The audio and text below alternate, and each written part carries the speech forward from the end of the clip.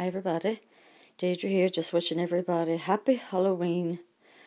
I know I'm a bit late, um, but I had the kids last night and then I had them late today, so so I hope you're all having a brilliant time. And for everybody who plans to go trick or treating tonight, please be safe and have a fantastic time. We have my granddaughter, the little elephant here, Ali Rose, and Taffy Toots. She was actually changed out of her costume to do um, Cancer Awareness Month, and she just suits pink so much I couldn't bear to change her back. Little birdie, little birdie. She's tiny Elsa.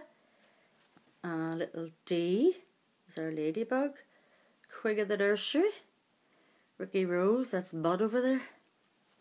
She's Big Elsa, and then of course our fairy. And here we have Cinderella. Thought I would show you this. My granddaughter brought it over. I have the iPad here, it's not working very well. Let's see, I'll have to hold it. Yeah.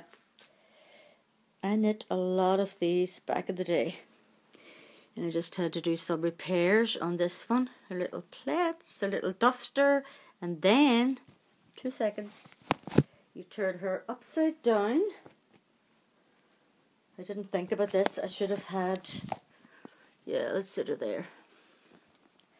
I should have set the iPad, the iPad fixed it up somewhere. And you turn her upside down, and this is the inside. Cinderella, isn't she gorgeous? And she has some little roses missing. I'm going to fix her dress up and add more roses and flowers and sparkles.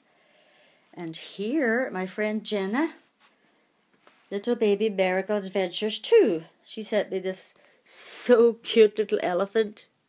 And it was attached to this little, look at this little blankie. Isn't it gorgeous? But my granddaughter, she wanted it off to play with it. And it was just two little snips, so we were able to get it off. And then she wanted some clothes on it. And these are a little bit big, obviously. So she used some of uh, Ali Rose here. She used some of her clothes. So these were hand knitted here again by Kay McDermott. And look at the wee hairband to match. So cute. And she's like a little beanie. I love beanies. So, yep, that's everybody. So happy Halloween, everybody. Can't wait to see all your videos. God bless.